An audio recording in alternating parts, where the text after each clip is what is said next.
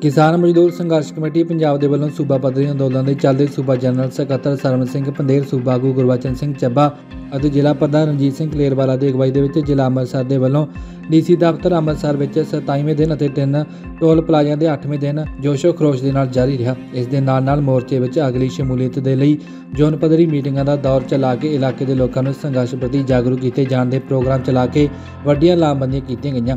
ਇਸ ਮੌਕੇ ਮੀਡੀਆ ਨਾਲ ਗੱਲਬਾਤ ਕਰਦੇ ਹੋਏ ਆਗੂਆਂ ਨੇ ਕੀ ਕਿਹਾ ਆਓ ਦੇਖਦੇ ਹਾਂ। ਮੈਂ ਸਰਮਨ ਸਿੰਘ ਪੰਦੇਰ ਕਿਸਾਨ ਮਜ਼ਦੂਰ ਸੰਘਰਸ਼ ਕਮੇਟੀ ਤੋਂ।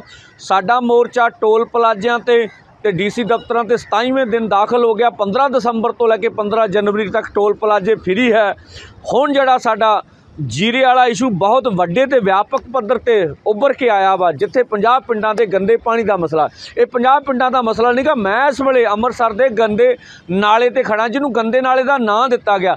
ਅਸਲ ਵਿੱਚ ਇਹ ਬਰਸਾਤੀ ਨਾਲਾ, ਤੁਸੀਂ ਦੇਖ ਸਕਦੇ ਹੋ ਵੀ ਇੱਥੇ ਅੰਮ੍ਰਿਤਸਰ ਦੀ ਇੰਡਸਟਰੀ ਦਾ ਫੈਕਟਰੀਆਂ ਦਾ ਕਿੱਡੇ ਵੱਡੇ ਪੱਧਰ ਤੇ ਜਿਹੜਾ ਗੰਦਾ ਪਾਣੀ ਆ, ਇਸ ਬਰਸਾਤੀ ਨਾਲੇ ਦੇ ਵਿੱਚ ਪਿਆ ਰਿਹਾ ਹੈਗਾ। ਅਸੀਂ ਇੰਡਸਟਰੀ ਦੇ ਵਿਰੋਧੀ ਨਹੀਂ ਹੈਗੀ। ਡੀਸੀ ਫਿਰੋਜ਼ਪੁਰ ਨੇ ਕਿਹਾ ਵੀ ਅਸੀਂ ਕਾਨੂੰਨ ਨੂੰ ਲਾਗੂ ਕਰਾਂਗੇ। ਪੋਲੂਸ਼ਨ ਕੰਟਰੋਲ ਬੋਰਡ ਦੇ ਕਾਨੂੰਨ ਮੁਤਾਬਕ ਇਹਦੇ ਵਿੱਚ ਇਹ ਪਾਣੀ ਨਹੀਂ ਪਾਇਆ ਜਾ ਸਕਦਾ। ਪਰ ਇੱਥੇ ਕਾਨੂੰਨ ਲਾਗੂ ਨਹੀਂ ਹੋ ਰਿਹਾ। ਅੰਮ੍ਰਿਤਸਰ ਦੇ ਕਮਿਸ਼ਨਰ ਨੂੰ, ਇਥੋਂ ਦੇ ਵੱਡੇ ਅਫਸਰਾਂ ਨੂੰ ਡੀਸੀ ਨੂੰ ਧਿਆਨ ਦੇਣਾ ਚਾਹੀਦਾ ਵੀ ਇੱਥੇ ਕਾਨੂੰਨਾਂ ਦਾ ਸਨਮਾਨ ਕਿਉਂ ਨਹੀਂ ਹੋ ਰਿਹਾ। ਕੱਲਾ ਇੱਥੋਂ ਦਾ ਮਸਲਾ ਨਹੀਂ ਲੁਧਿਆਣੇ ਦੀ ਇੰਡਸਟਰੀ ਦਾ ਬੁੱਢੇ ਨਾਲੇ ਰਾਹੀਂ ਪੂਰਾ ਦਰਿਆ ਜਿਹੜਾ ਵਾ ਸਤਲੁਜ, ਉਹ ਗੰਦਾ ਹੋਇਆ ਪਿਆ ਵਾ। ਪੂਰੇ ਪੰਜਾਬ ਦੇ ਵਿੱਚ ਇਹ ਸਮੱਸਿਆ ਹੈਗੀ ਆ।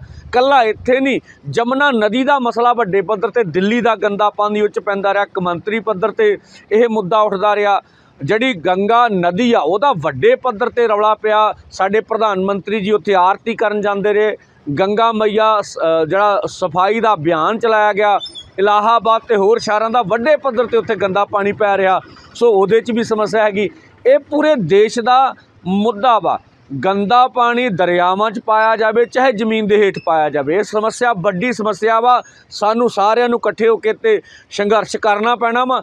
ਤਾਂ ਇਹਨੂੰ ਪੱਖ ਦਿਖਾਉਣਾ ਵੀ ਇਹ ਇਕੱਲਾ ਸਾਡਾ ਮੁੱਦਾ ਨਹੀਂ। ਤੋਂ ਸਰਕਾਰ ਜ਼ਬਰਦਸਤੀ ਜੀਰਾ ਫੈਕਟਰੀ ਤੇ ਹਮਲਾਵਰ ਨਾ ਹੋਵੇ, ਉਹਨਾਂ ਦਾ ਪੱਖ ਨਾ ਪੂਰੇ ਤੇ ਉੱਥੋਂ ਦੇ ਲੋਕਾਂ ਨੂੰ ਧੱਕੇ ਨਾ ਠਾਲਿਆ। ਨਾ ਜਾਵੇ। ਉਹ ਮ- ਉਹ ਮਸਲੇ ਨੂੰ ਸਹੀ ਤਰੀਕੇ ਨਾਲ ਹੱਲ ਹੋਣਾ ਚਾਹੀਦਾ, ਇਹਦੇ ਨਾਲ ਦੀ ਨਾਲ।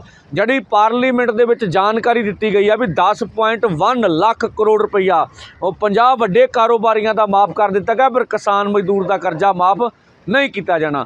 ਹੁਣ ਕਰੋਨਾ ਵਾਲਾ ਭੂਤ ਫੇਰ ਬਸਤੇ ਚੋਂ ਬਾਹਰ ਆ ਰਿਹਾ ਹੈਗਾ। ਸੋ ਅਸੀਂ ਨਹੀਂ ਕਹਿੰਦੇ ਲੋਕ ਆਪਣਾ ਖਿਆਲ ਨਾ ਰੱਖਣ। ਲੋਕ ਤਾਂ ਮਸਾਂ ਮਸਾਂ ਖੜੇ ਹੋਏ ਸੀ। ਹੁਣ ਇਹ ਨਵਾਂ ਰੂਪ ਸਾਨੂੰ ਦੇਖਣ ਨੂੰ ਫਿਰ ਸਾਨੂੰ ਇਹਦਾ ਪਹਿਲਾਂ ਵੀ ਪਤਾ ਸੀ, ਮਿਲੂਗਾ ਜਦੋਂ ਅੰਦੋਲਨ ਵੱਡੇ ਹੋਣਗੇ।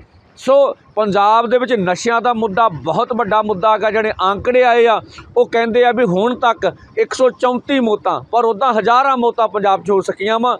ਸੋ ਮੋਰਚੇ ਜ- ਉਦੋਂ ਤੱਕ ਲੱਗੇ ਰਹਿਣਗੇ, ਜਦੋਂ ਤੱਕ ਮੰਗਾਂ ਦੀ ਪੂਰਤੀ ਨਹੀਂ ਹੁੰਦੀ। ਧੰਨਵਾਦ।